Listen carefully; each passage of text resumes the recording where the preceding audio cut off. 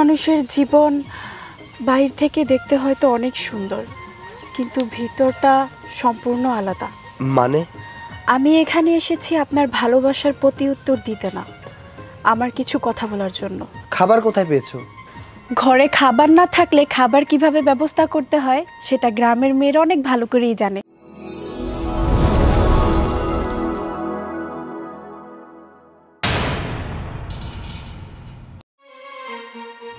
শোন সৈকত তোকে আমার পছন্দ করা মেয়েকেই বিয়ে করতে হবে। আমার বন্ধুর মেয়ে সুন্দরী সুশিক্ষিত অনেক ধনী ওরা। বাবা তোমাকে বারবার করে বলেছি আমি কোনো ধনী মেয়ে বিয়ে করব না। ওরা সংসার করে না ওদের জন্য আলাদা চাকরানি রাখা লাগে। বাবা এমন একটা মেয়ে বিয়ে করতে চাই যে আমাদের সংসারটাকে আগলে রাখবে। সব মেয়ে সমান নয় বাবা। ও আমার বন্ধুর মেয়ে আমি ওদের ভালো চিনি। তুমি কি আমার রমতে বিয়ে দিবে? এই তোর এত কথা না বলে তুই সোজা বলে দে যে তোমার পছন্দ করা মেয়েকে আমি বিয়ে করব না। বাবা আমরা মধ্যবিত্ত। মধ্যবিত্ত পরিবারে একটা মেয়ে এনে দাও আমি বিয়ে করছি কিন্তু আমি ধনীর কোনো মেয়ে বিয়ে করতে পারব না। পরিষ্কার আমাকে বল তোর কি কোনো পছন্দ আছে? বাবা আমার কোনো পছন্দ নেই তাহলে তো আমি বলেই দিতাম। কোনো ধনীর মেয়েকে বিয়ে করবি না তাহলে কি ফকিরনির মেয়েকে বিয়ে করবি? আচ্ছা ঠিক আছে। তুই যদি বিয়ে না করিস তাহলে আমার বাড়ি থেকে বেরিয়ে যা। বেরিয়ে যা কোথাও বিয়ে কর যা। বাবা। ঠিক আছে আমি চলে যাচ্ছি।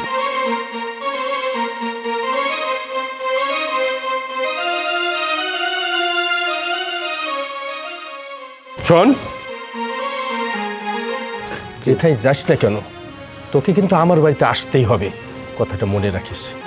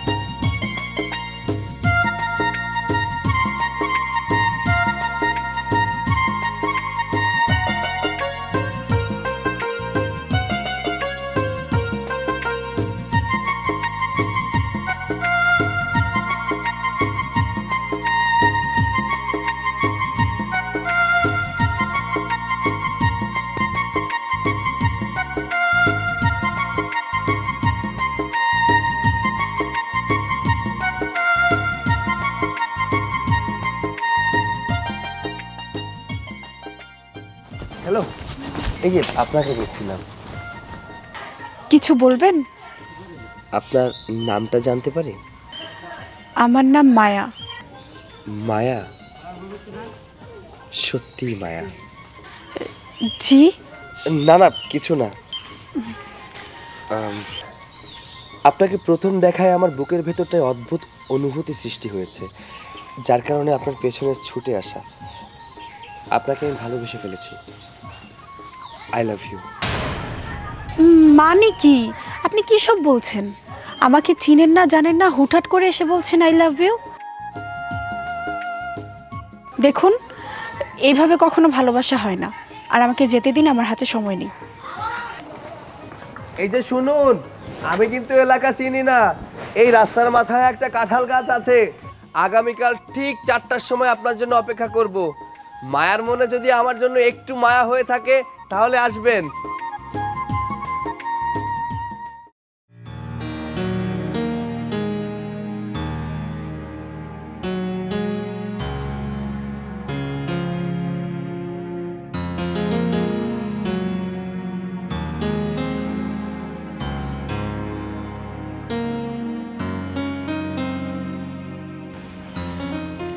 আমি জানতাম।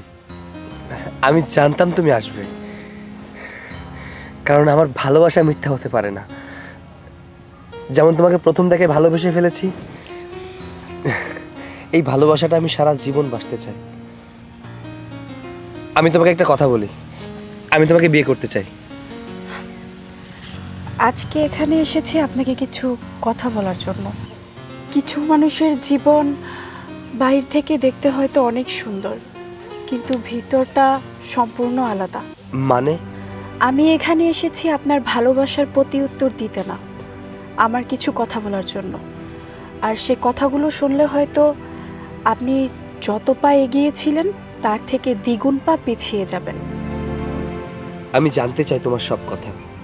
দেখুন আমাকে দেখতে যেমন হাস্য উজ্জ্বল দেখা যায় আসলে আমার ভিতরটা একদমই কষ্টে ভরা। আমি এতিম একটা মেয়ে। আমি যখন ছোট তখন আমার বাবা মা মারা গেছে। তারপর থেকেই আমি আমার খালার কাছে বড় হয়েছি। কিছুদিন আগে আমার খালাও মারা গেছে। এখন আমি একদম একা। এর মাঝে কাউকে ভালোবেসে আমি আর কষ্টের ভাগিদার হতে চাই না। বুঝতে পেরেছি। তুমি অনেক কষ্টের মানুষ। কিন্তু এই কষ্টটাকে যদি চিরজীবনের জন্য সমাপ্তি টেনে দিই তাহলে কি তুমি আমাকে ভালোবাসবে? মানে? মানেটা হলো যেহেতু তোমাকে দেখে আমি ভালোবেসেছি তোমার পরিবারে কে আছে তোমার টাকা পয়সা ধন দৌলত কিচ্ছু আমি দেখিনি। আমি মানুষটাকে নিয়ে থাকতে চাই। আমি তোমাকে বিয়ে করতে চাই। করবে বিয়ে আমাকে? আপনি কি ভেবে বলছেন? হ্যাঁ ভেবেই বলছি। যাকে প্রথম দেখায় ভালোবেসেছি তাকে নিয়ে সারা জীবন থাকতে চাই। কিন্তু তার কাছ থেকে একটা জিনিস জানার আছে। সে কি সারা জীবন আমাকে ভালোবাসবে?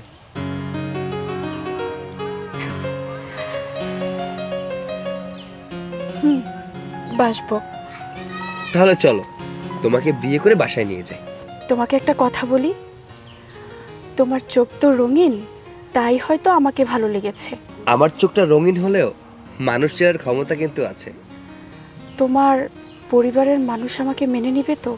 আমার পরিবার নিয়ে তোমার চিন্তা করতে হবে না। আমার পরিবারে শুধুমাত্র আমার বাবা ছাড়া আর কেউ নেই।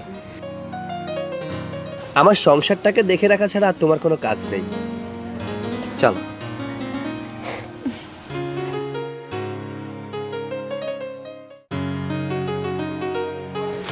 এসো। এটাই তোমার স্বামীর বাড়ি। এসো।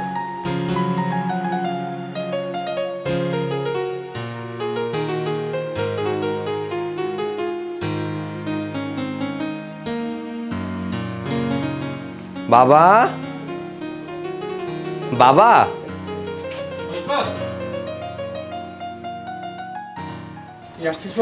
হ্যাঁ বাবা। আমি জানতাম তুই আসবি।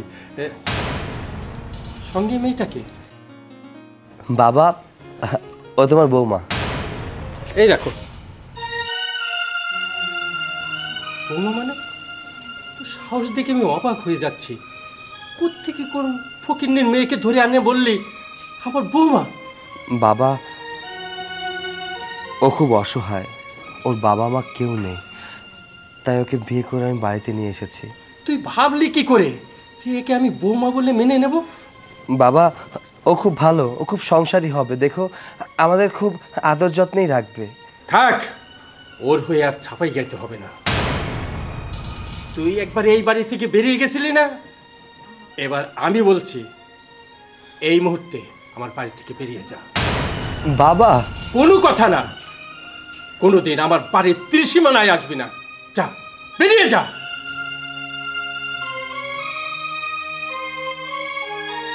চলো।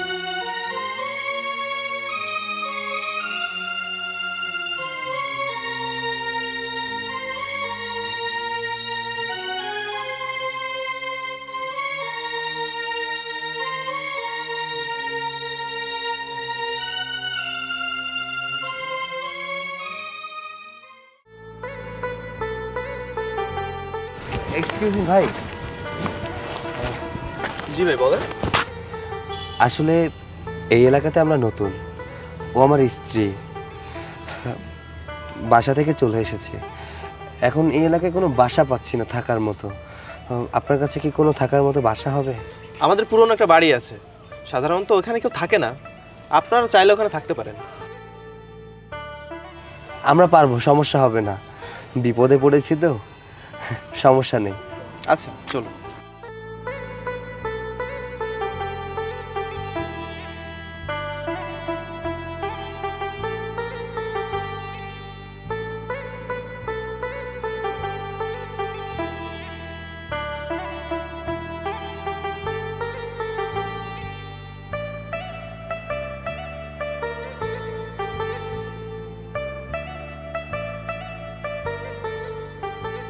এটাই আমাদের বাড়ি। থাকতে পারবেন তো? এইটা বাড়ি তাই না?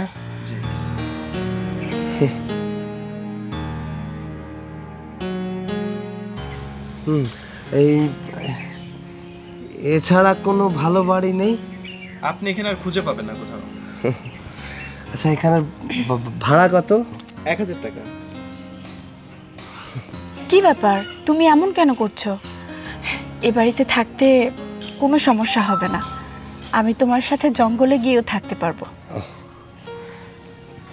তোমার যদি সমস্যা না হয় আমারও কোনো সমস্যা হবে না। ভাই চাবিটা দেন। আচ্ছা শুনুন আমি খুলে দিচ্ছি। চলো।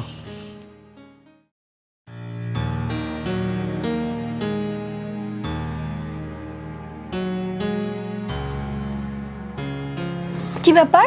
কোথায় গিয়েছিলে তুমি? ও একটু বাজারে গিয়েছিলাম আর কি। খাবার খেতে হবে না? আমি কোনো খাবারের ব্যবস্থা করতে পারিনি আর দেখি কোনো খাবারের ব্যবস্থা করতে পারি কি না। আহারে।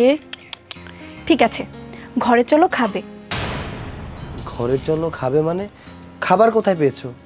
ঘরে খাবার না থাকলে খাবার কীভাবে ব্যবস্থা করতে হয় সেটা গ্রামের মেয়েরা অনেক ভালো করেই জানে। মাঠের শাকসবজি সব হারিয়ে গেছে নাকি? মাঠ থেকে শাক তুলে এনেছিলাম আর ওটা রান্না করেছি। ভাত পেয়েছ কোথায়? পাশের বাড়ির ভাবির কাছ থেকে চাল নিয়ে এসে রান্না করেছি। চলো খাবে। পাগলি বউ আমার তোমাকে পেয়ে আমি ধন্য। শুধু বাবা বুঝলো না। এসব কথা চিন্তা করে কষ্ট পেতে হবে না। ঘরে চলো খাবে। চলো।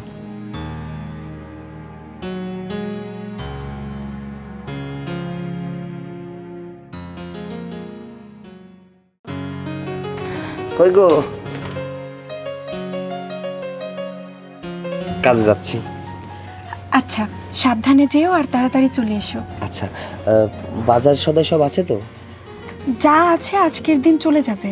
আচ্ছা আসার সময় আমি এক কেজি চাল নিয়ে আসব না। আচ্ছা ঠিক আছে। ওকে এই যে বাবা শোকর তোমার সংসার কেমন চলছে? ভালো।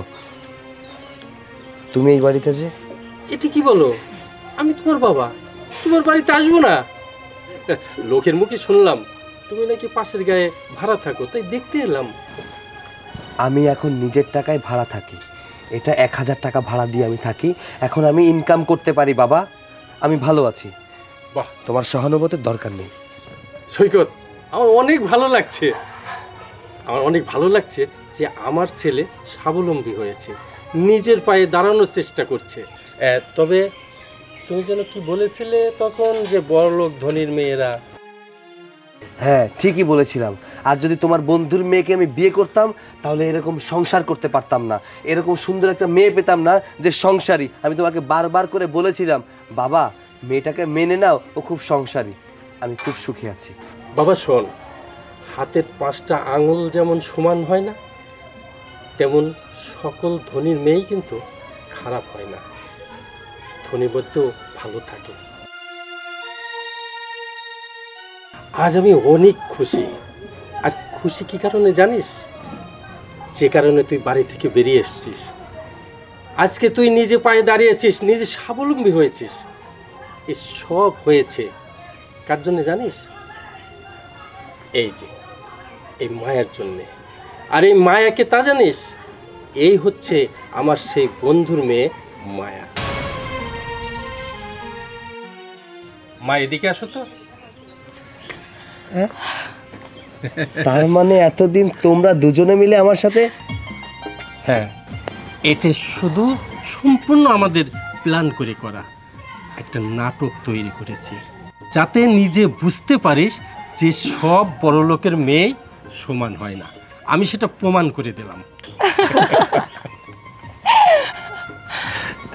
আচ্ছা অনেক হয়েছে, আর এই ভাঙা বাড়িতে তোমার সংসার করতে হবে না চলো এবার, নিজের বাড়িতে গিয়ে সংসার করবে।